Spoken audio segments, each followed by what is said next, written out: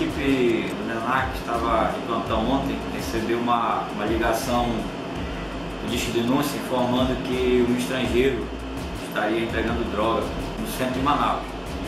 Imediatamente a equipe se deslocou até o centro, fez campana lá aguardando a movimentação dos traficantes e no momento que o estrangeiro, que soube-se depois tratasse de um peruano, adentrou no carro com a, com a sacola, foi feito o cerco, a abordagem e ele foi preso, juntamente com um outro elemento, no interior do veículo. E lá estava a bolsa contendo 12 tabletes de, de maconha. Foram presos em flagrante, o peruano informou para a equipe que a droga não era dele, ele havia sido contratado apenas para fazer o transporte.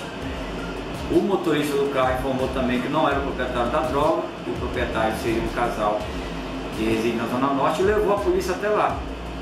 Chegando lá, o casal foi preso em flagrante por tráfico, associação, e no interior da casa do casal foi encontrado um livro que contém a contabilidade do tráfico.